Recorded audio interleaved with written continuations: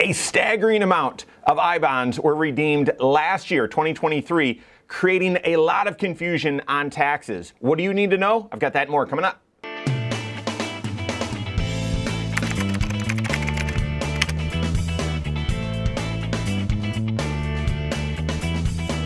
My name is Mike Bernard. I'm the host of the Wise Money Show. I'm also one of the certified financial planners right here at Korhorn Financial Group. Make sure you hit that subscribe button, turn on notifications, and smash that thumbs up button. The very popular I bond coming out of COVID uh, and all the inflation that we saw. Very, one of the most popular investments over the past couple of years. I've talked about and I've done lots of videos explaining how it works and how complicated it is, and that at some point, this investment that you fell in love with, you will fall out of love with because it is very complicated and we are going to be grinding, whether you believe it or not, we're going to be grinding inflation back down to those normal levels, even if it takes longer than any of us want. And at some point, this this I bond, this inflation bond, will end up paying less interest than what it's worth, uh, it, like the, the hassle, and you'll cash it in and say, I should do something else with this money.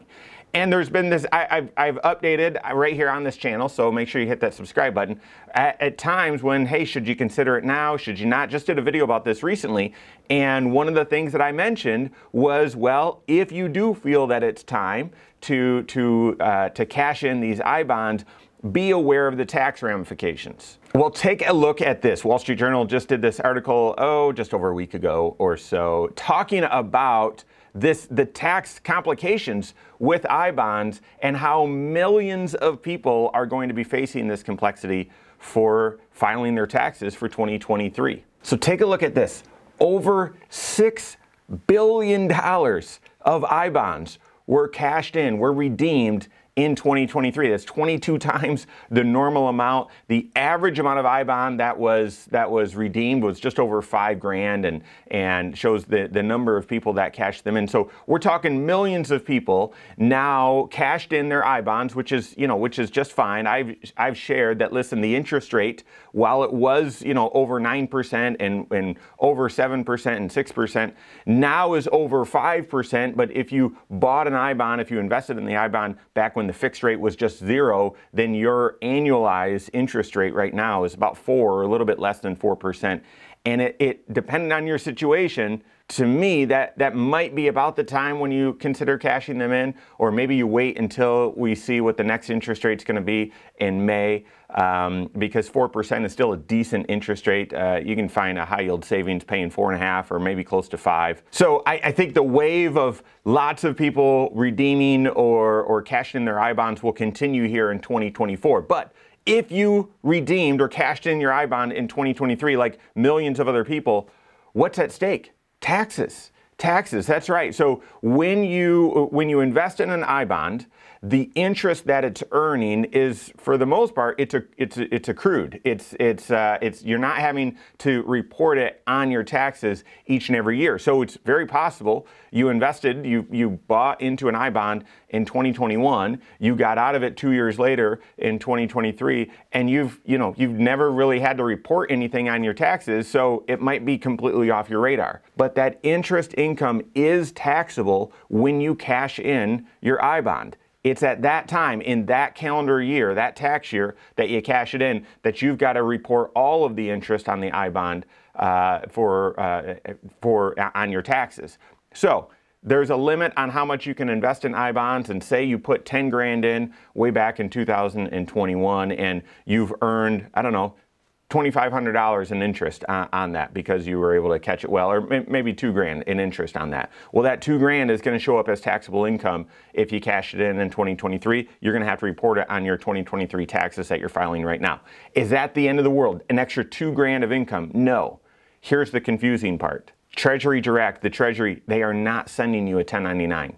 They are not. I've warned about this before as well. We actually uh, included on our talk show that Lots of people made changes with where they're holding their savings accounts or, or what they're doing with CDs, and many people have transitioned some of their savings into online savings, and many of those do not send you 1099s. And yeah, part of the agreement when you're setting up the account, I suppose you could click for some of these high yield savings and say, no, I still want a paper statement. I still want a paper tax form. Most of them by default, they're, they're going to say you've got to get it online. Treasury Direct is one such place. You, they're not mailing you a 1099. Therefore, if this if this I bond has been off your radar from a tax standpoint because you've held it for two years and you've never had to report interest, and then now you you cash it in, but it's not on your radar that you need to report this as taxable income, or maybe maybe it was on your radar, and I'm probably gonna have to report this at the time you sold it, but then now here in the spring you never got a tax form. Maybe you're you've done your taxes and you completely forgot to go out and grab your 1099 and include this interest on your return. So if that's you, if you had I bonds, you cashed them in last year, and you've already filed a return, you you got on it early, and you forgot to include your your interest income. If you are due a refund, see if you've already received that refund. It's very possible the IRS has already caught this when they're quickly, like you know, automa- automatically uh, reviewing your return. It's very possible they've already seen the inconsistency and will offset your your your refund. I doubt it, but it's possible. If they if they already issued you a refund or or or whatever, then you're going to need to file an amendment and you're going to have to show, nope, I needed to report this income, I failed to do so. Here's the updated tax return and here's the little bit of tax that I owe.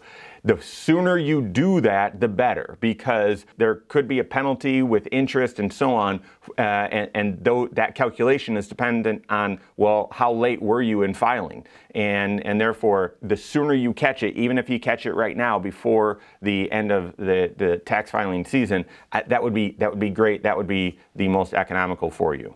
If you haven't yet filed your return, go out to Treasury Direct, use your login, go out there, grab your 1099, include that in your tax documents or give it to your CPA to ensure that this that this income gets reported on your tax return.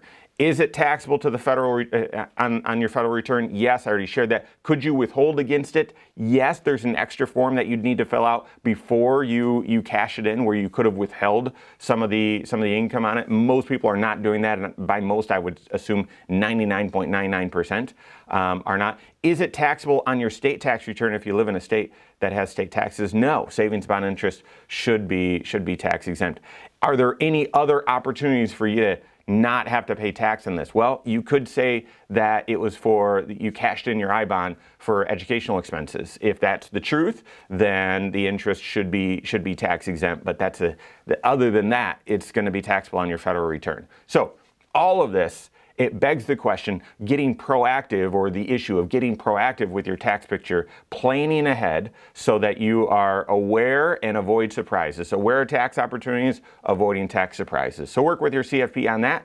If you don't have a CFP on your team, you can contact one on my team. Find us online, korhorn.com. That's korhorn with K. WiseMoneyShow.com. You can find us there as well. Or send us an email, info at korhorn.com. All right, there you have it. Go on and take your next wise step in your financial life.